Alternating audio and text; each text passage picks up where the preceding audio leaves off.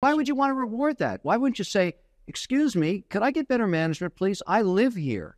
I pay taxes here and I'd like a job. Kevin O'Leary from Shark Tank, who we've shown you a bunch of clips lately, he's just been an absolute uh, truth teller that's working his way through mainstream media. I can't can only imagine how much longer they're going to allow that happen. Here he is on what's going on in her district itself. I look at AOC, what an incredible, incredibly successful politician she is, and what a horrific manager she is.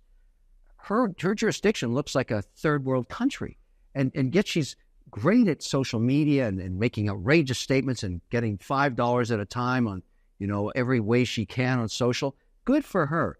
But wow, look what she did when Amazon came knocking for ten thousand. Yeah, that jobs. to me blew my mind. How does that I mean, you survive? So, so why would you want to reward that? Why wouldn't you say, "Excuse me, could I get better management, please? I live here, I pay taxes here, and I'd like a job. And I don't think you're doing a great job for me as a manager. How about I hire somebody else?" That's what I would encourage. Not that she isn't just great as a politician. There are countries that have weak leaders. There are states that have bad governors. I think people, the great thing about democracy is say, we can do better. Right. Putting up my head, let's do better. Do you think you, as you talk, I get this? It's not personal. It's just business. Just business. But everything is personal now. No, not for me. I mean, you what you did right there is you gave her a compliment in terms of her her showmanship and how she does well on social media, and she's be, her, she used her platform, and then you criticized the deed. You like She's you lost. manager. Yeah, you're not, and Which- that should which- be, but which that one makes is it? you. There's a lot of words I could throw, No, and I agree with you. I'll say it with you. I'll say it. I don't. I'm like, who voted for this? And you can see it across the board. You can see it. It doesn't have to be AOC. We you could take it a re- Well, super she's a Republican guy. example. Yeah, but she's Which- a perfect example. What did cares I about say the that camera. wasn't true? Is she a great Nothing. poli- She's a great politician. Let's celebrate that. Is she a bad manager? Hundred percent. She's terrible. They're both true. They so if she was true. a business, I wouldn't. and you, would you would you pass? Would she would No, on let- Shark Tank? Let Would she be be specific. Yeah. I wouldn't let her manage a candy store. Wow. Isn't that perfect? Because what he's showing is that's exactly what AOC is.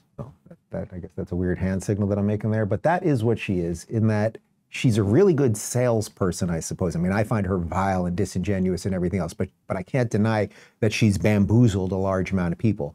So that's one road that she's going down. But at the same time, there's a parallel road, and that parallel, or I guess they're dividing roads going in different directions. So she's got this career track that seems to be going in the right direction for her. It'll be really good for her. But what's going on in her own district is an absolute disaster in terms of crime and immigration and everything else.